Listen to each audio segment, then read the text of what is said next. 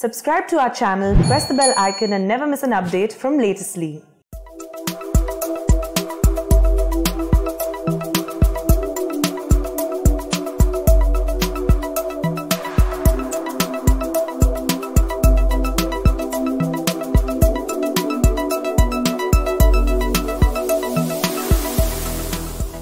I'm deeply sorry for all the suffering there's been uh, throughout this pandemic, whether of his constituents or anyone uh, in, the, in the country. Uh, as to his, his points about uh, what is in the report, I don't think his views are substantiated by, the, uh, by what the report says, but I think he should wait to, he should wait to see uh, where the inquiry goes, and that's what I propose to do. Of course, uh, it's, it's vital that we make this statement. Yes, of course, it's vital that we uh, learn from Sue Gray's report, vital that we take action, uh, Mr. Speaker, uh, which is what the government is doing. But it's also vital, frankly, that we get on with the people's priorities, and that is what this government is also doing.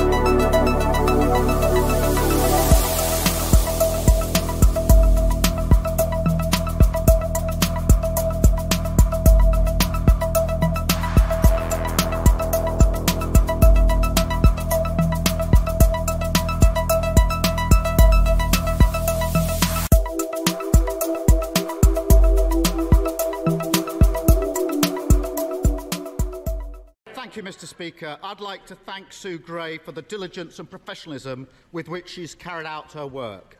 It's no fault of hers that she's only been able to produce an update today, not the full report. The Prime Minister repeatedly assured the House that the guidance was followed and the rules were followed.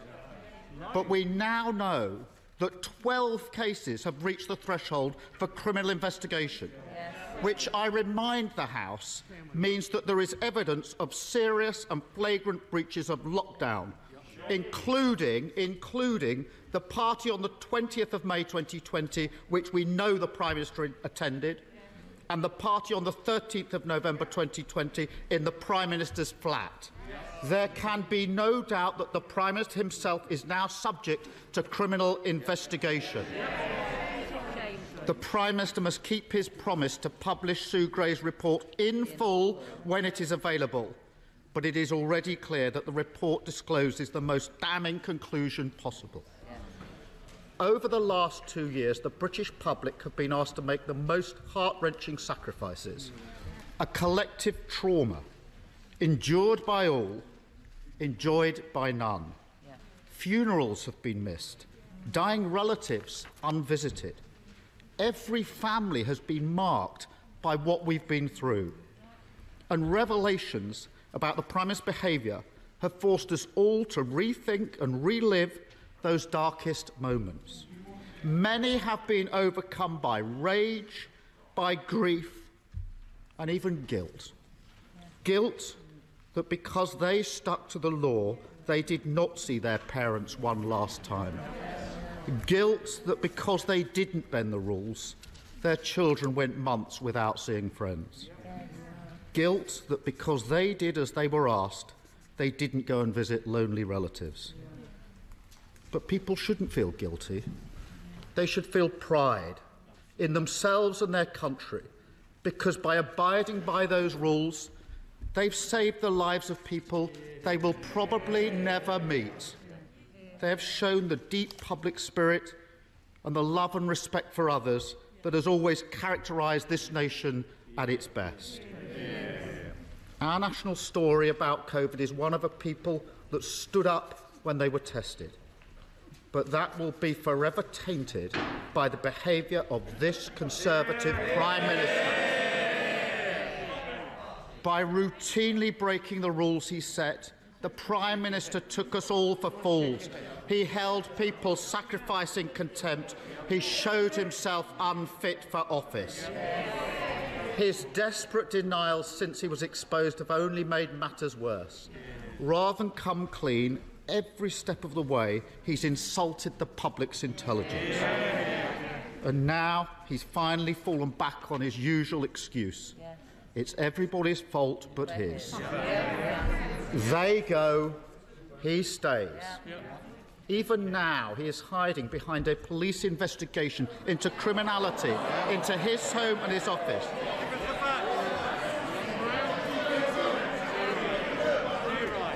Mr. Speaker, he gleefully treats what should be a mark of shame as a welcome shield. But, Prime Minister, the British public aren't fools. They never believed a word of it. They think the Prime Minister should do the decent thing and resign.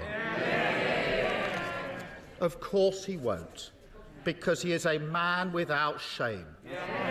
And just as he has done throughout his life, he's damaged everyone and everything around him along the way.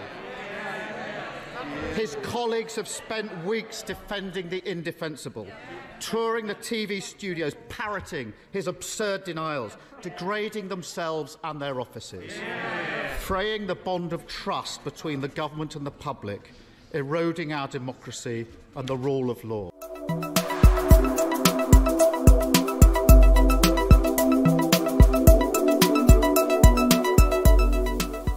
Uh, that what I think the and, and, uh, what I think the country, with greatest respect to the benches opposite, what I think the country wants us all in this house to focus on is the issues that matter to them. On, Mr. Speaker, with taking this country forward. And, and Mr. Speaker, uh, today uh, we have delivered yet more Brexit freedoms with a new Freeport uh, in Tilbury, as I said, when he voted 48 times to take this country back into the, uh, to the EU.